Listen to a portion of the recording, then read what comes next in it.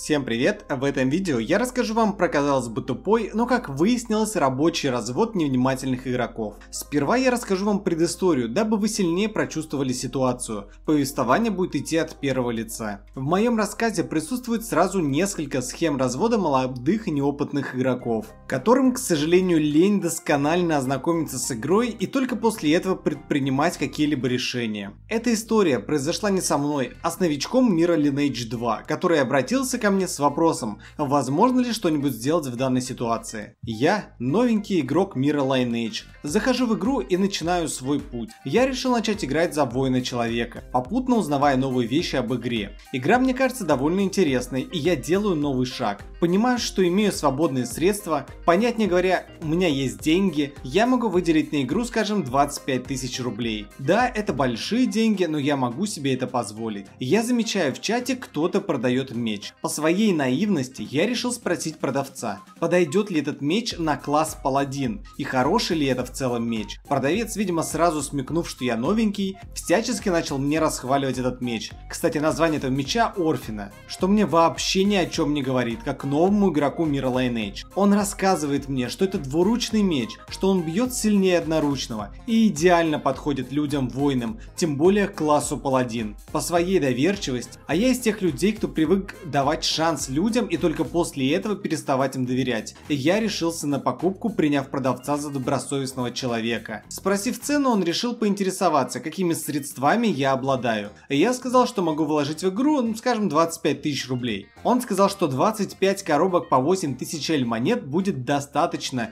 за этот так называемый лучший меч в игре для паладина. Почему бы и нет, решил я. Раз уж это самый лучший меч в игре, то я могу сразу купить его. И как минимум не задумываться об оружии, ведь у меня уже будет лучший меч в игре. И я купил те самые коробки, которые он попросил, и совершил торг, получив лучший меч в игре. Счастья моему не было предела, но увы оно продлилось недолго. Показав меч своим сокланам, мне сразу дали понять, что я, мягко говоря, лоханулся. И поверил в сказку про то, что лучший меч в игре для паладина именно Орфина. Ведь это двуручный меч, тогда как мой персонаж должен бегать щитом. Я вежливо написал продавцу, попросил его вникнуть в ситуацию, даже скинул цену до 24 коробок. Так сказать, одну он мог забрать себе за потраченное время. Но после нескольких грубых ответов он решил не отвечать мне вообще. Конечно, неприятная ситуация, но что поделать, таков уж мир Lineage, новичкам тут видимо не очень-то и рады. Побегав некоторое время, я познакомился с ребятами и даже умудрился попасть в КП. Я долго качался с этим мечом, пока лидер моей КП не предложил мне обменять мой меч Орфина на Сиру, которую он уже заранее купил. Он сказал, что продаст Орфина и разницу в цене мне вернет. Меня полностью устраивал этот вариант, так как я доверяю своему ПЛу. Мы договорились встретиться в Геране, возле гейткипера Герана. Я снял меч, мне кинул трейд мой ПЛ, я выложил меч и трейд отменился. Я подумал, что у него какие-то лаги. Затем я получил новое предложение торга, снова положил меч и снова отмена трейда. Подумал, что игра лагает и решил, что в следующий раз сделаю все очень быстро. Я принимаю трейд, быстро кладу меч и жму обмен.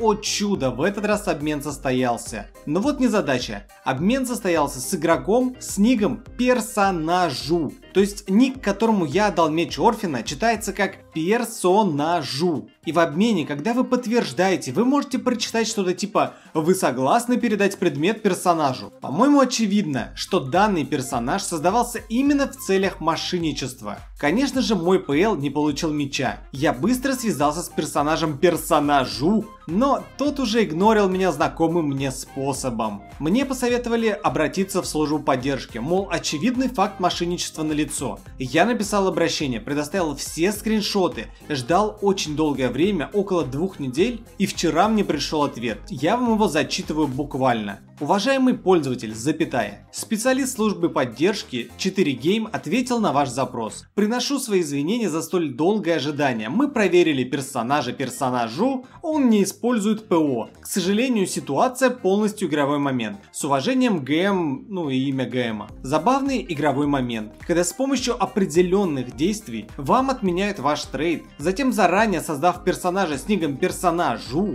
который явно намекает нам, в каких целях будет использоваться использовать этот персонаж. Более того, это гномка в лунном сете. И все эти факты чисто игровой момент. Хм, но для того, чтобы отменять трейд, вам не нужно никакое ПО. Достаточно знать порядок действия, чтобы вызвать и использовать этот баг. Мораль всей истории такова. Будьте внимательны всегда. Мир Lineage это суровый мир, который, к сожалению, суров к новичкам. А вместо того, чтобы приветствовать их и всячески пытаться помогать им, мы сами, гоняясь за наживой, делаем так, чтобы в нашу игру играло все меньше и меньше человек. Жаль, что поддержка не пошла навстречу игроку, который готов был донатить. Как видите, немалые деньги, встав на сторону тупого разводилы, который продаст этот шмот зырял где-нибудь на левой площадке. Спасибо всем за просмотр видео. Итоги конкурса предыдущего видео я записал и выложу в конце этого ролика. Будьте бдительны, друзья, и помогайте новичкам. Аминь.